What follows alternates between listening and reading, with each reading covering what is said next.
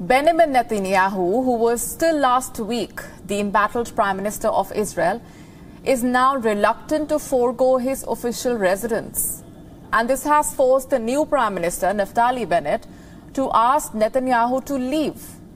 Naftali Bennett has conveyed to Netanyahu that he needs to leave within 14 days. As Netanyahu clings on to the official residence of the Prime Minister of Israel, the coalition government plans to introduce a legislation regulating the changeover at the official residence for the future. However, the former Prime Minister of Israel remains undeterred and might not depart for several more weeks. According to local media reports, the Netanyahus have started packing and the vacating process will take a few more weeks. Meanwhile, for the time being, Bennett, even after six days of his swearing-in ceremony, is living in his family home in Ra'anana. The issue of the former Prime Minister residing at the official residence has already sparked an uproar. Let's look at what exactly happened. Netanyahu held a meeting at his residence on the 14th of June with the US Ambassador to the United Nations, Nikki Haley.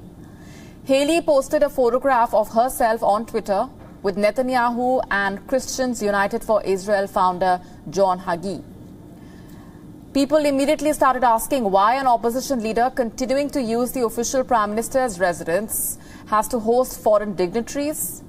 The uproar led to an anti-Netanyahu protest group threatening to move the High Court against the former prime minister for the same. They sent a letter to the prime minister's office criticizing Netanyahu for remaining at the public resource. The letter notes that this is not the first time Netanyahu is doing this. Previously as well, it took the Netanyahu family six weeks to vacate the residence the previous time the Likud leader was voted out. This was in 1999. Experts believe that Netanyahu is taking advantage of the no legal stipulation regarding when a replaced premier must leave the official residence. They claim that this is one of his tactics to cling on to power in the capital city of Israel.